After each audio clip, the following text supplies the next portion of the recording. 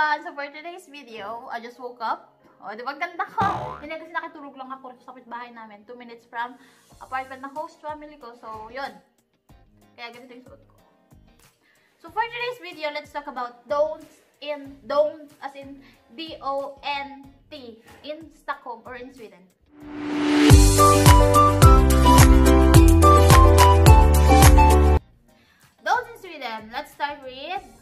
Number one, don't wear your shoes inside. Yes po, pag pumasok kayo sa bahay ng mga Swedish, is meron kayo, meron bubungan sa inyo na shoe rack. And then, eventually, kailangan mo niyang hubarin ang sapatos mo kahit kano pa yan kalinis. Kahit bago pa yan, kailangan niyong hubarin ang inyong mga sapatos. Kasi parang disrespect sa kanila or talagang iniingatan lang nila. Kahit naman sa atin sa Pilipinas, di ba? Pagpasok tayo sa mga bahay, kailangan natin hubarin yung mga sapatos. Lalo na mga 90s, ewan ko lang ngayon yung mga, ano, mga bata ngayon sa Pilipinas. Next is, don't sit with another person in the train. So, pangalawang, mga pangalawa, pangatlong beses ko na ito nabanggit na, parang awkward sa mga Swedish na umupo ka sa tabi nila. So, The third is don't stand in both side of the escalator kasi nga daanan yan sa mga taong nagmamadali like that. So, kung mapapansin nyo dito sa Sweden, Sweden, sa Sweden, one side lang, one side lang sila pag umakyat ng escalator. Unlike sa Pilipinas na pwede kayong magkwentuhan sa harapan ng nasa likod nyo at, at mag-excuse lang kayo pag nagmadali kayo, dito hindi. Automatic yan na meron kayong daan pag nagmamadali kayo or yeah, like that, like that. So, And number four, don't expect cheap everything here. So, pag papasyal kayo dito, pag papasyal kayo dito or gusto niyo pumunta rito, don't expect na cheap ang mga, ang lahat. Lahat. Kasi lahat. Bote lang ang pag one crown dito. Kasi dito, hindi tinatapon yung mga bote tsaka yung mga lata. Bawal itapon. Kaya kailangan pumunta ka. Hindi naman sa bawal, pero most ng mga tao rito is kine-collect yun tapos ilalagay sa sa mga supermarket, tapos kapalit yun mayroong kayong papers na ibibigay sa inyo na pwede nyo ibili sa kanila. Ganon. Sa store na pinaglagyanan nyo. Nakalimutan ko i-film. So, never mind na. Basta don't expect everything kasi mahal talaga lahat dito. Mapapamura ka sa mahal. And then, I'm switching. Don't worry about Swedish language.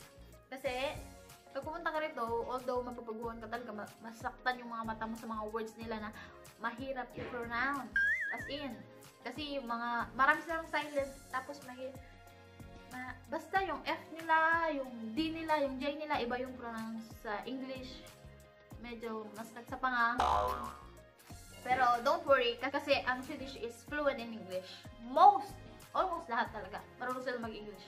Don't forget to bring bags pag nag-grocery kayo. Kasi po, kung makalimutan nyo, magbabayad lang naman kayo ng 3 to 7 crown kada bag. Kada bag. So, for um, most of people here in Sweden, nagdadala sila ng bag. Kasi nakakatipid na rin. Tapos yung mga bag kasi dito is paper bag madalas. So, pag mabibigat, kasi yung mga juice dito, yung mga milk dito, in mga 1, 1, 1 liter, 1, 1 liter, eh, bumibili kami halos araw-araw dalawang, lit, dalawang liter ng milk. O, di, pag paper bag yun, talagang bubutas butas agad. So, kailangan talaga. Sabihin nyo kung kaya mong bitbitin eh. Why not?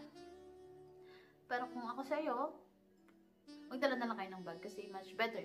Lalo, lahat naman ng tao ito nagdadala ng bag. So, don't forget to bring bag. Don't expect na may magbabag sa inyo. May, may bagger pag namimili kayo ng grocery. Kasi, grocery mo, bag mo. Actually, may mga may mga store dito na like Ika, Hemcop, meron silang mga machine na ikaw na mag ikaw, ikaw mag ikaw mag-i-scan ng item mo, ikaw magbabag, ikaw magpe-payment. As in, in as in lahat dito, self-service lahat.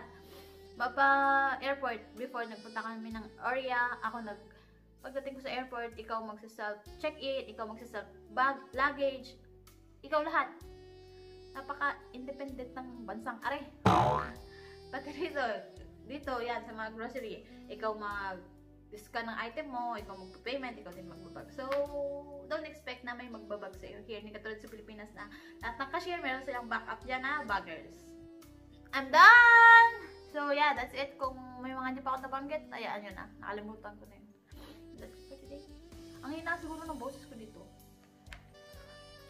And that's it for today's video. Thank you for watching and hope you enjoy and may natutunan kayo sa ating lesson for today. Day, summer na talaga. Sumamay ka na. Ang itim na namin. Ay. Bus-bus.